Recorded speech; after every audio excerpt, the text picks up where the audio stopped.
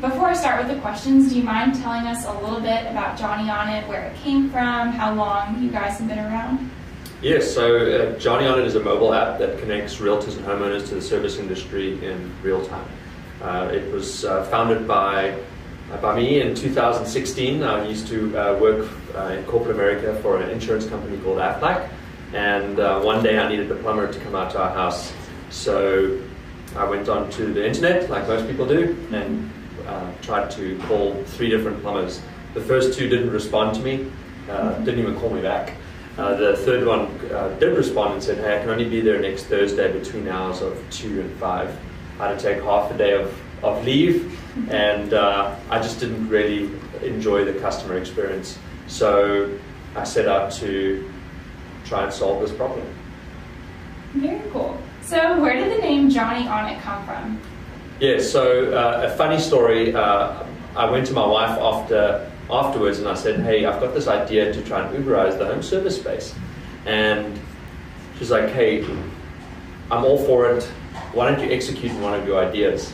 So I said, okay, cool, I'll do that. Uh, sold our car, took $10,000 equity out of it, and uh, started Jonny on it. So for the next couple of weeks, I was spitting out names all over the place. What about this? What about that? What about this?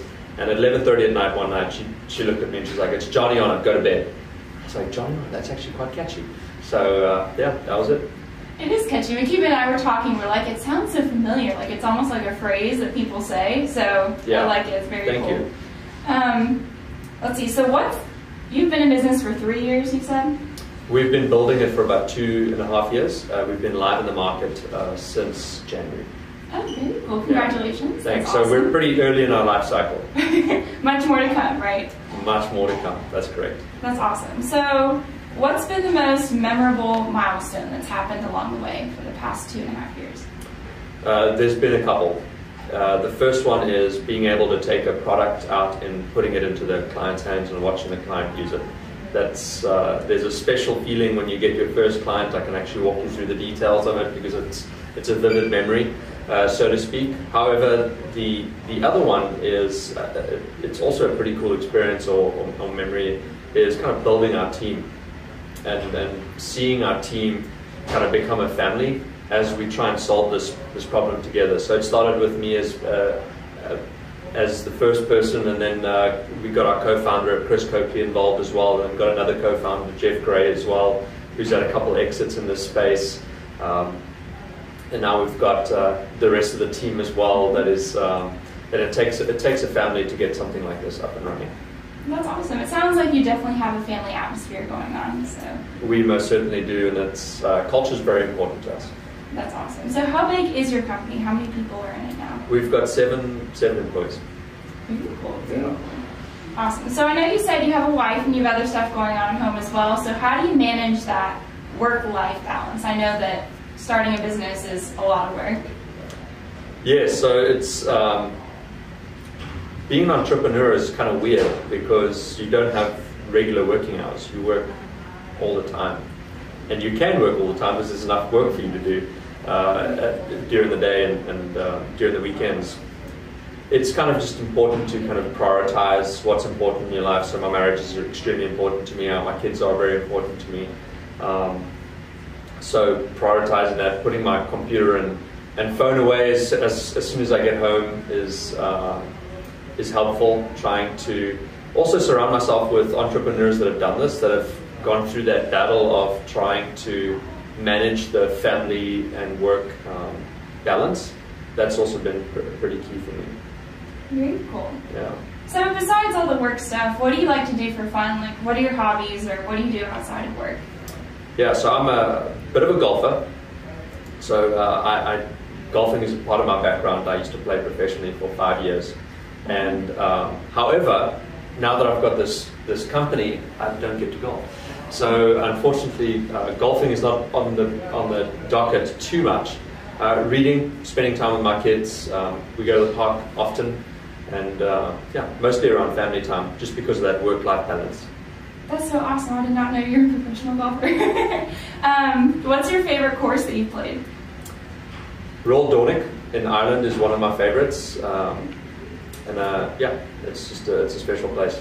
Very cool. So did you play golf in college too? I did. I came here as, on a golf scholarship to Columbus State University in Georgia. Very So, cool. yeah. Awesome. Yeah, my brother just graduated from there. So Oh. very familiar with the Columbus area. Yeah, That's awesome. I met my wife there as well. Oh, awesome. Do you ever go back down there to visit? Uh, we do. Uh, her family, her side of the family is, uh, is uh, the majority of her side of the family is still down in Columbus, so we, we tend to drive down 85 from time to time. Quite often. awesome. So, what's the biggest risk that you've taken either in your business or your personal life?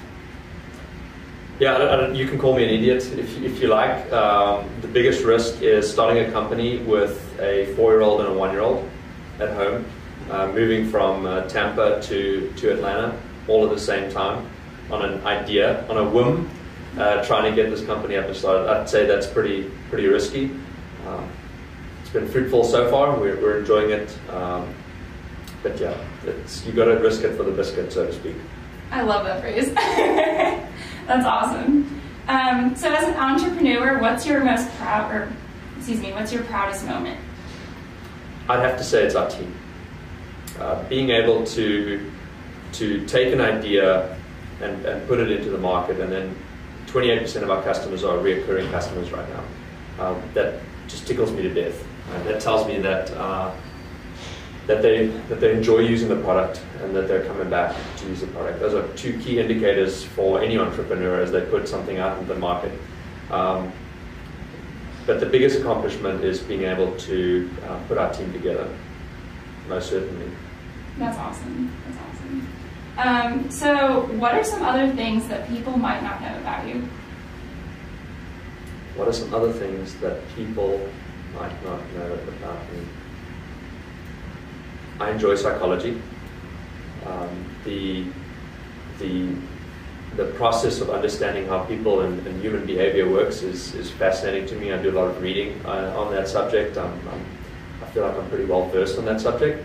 So as we're sitting here, I'm thinking, well, you know, what makes you tick, or how do I need to adjust my behavior to accommodate your behavior, and things like that. Uh, there's a lot of stuff going on in the background, but um, yeah, those are some of the things that most people don't really know about me. That's cool. Is So, that kind of the right answer? yeah, yeah, Okay, of course. cool. Um, was your degree in psychology? It was not. I was actually a, a, business degree specialization in marketing. Yeah. The, I, I will say that um, you might not know this about me as well is that I'm a customer um, success fanatic. The customer is just absolutely number one in our um, in, in my brain, and we don't do anything in our company that doesn't pertain to the customer's success. I love that. Customer success. um, all right. So, last question. What is your life motto? What What do you live by? I'm a man of faith, so um, what we're doing right here is cool. Um, it, it's pretty interesting. It's fun. We have a good team. We have a good family. Um, but I'm not rooted in the success or failure of a company. I'm rooted in my faith, and um, and that's that's pretty important to me. Very cool. Awesome. Akiba, did you have anything else? Um, if anyone is interested in trying your service, where can we find you? Yeah, you can download us uh, Jonny on it, J O N N Y, on it in the App Store or Google Play Store. And you can also go to our website, jonnyonit.com. I'd encourage you.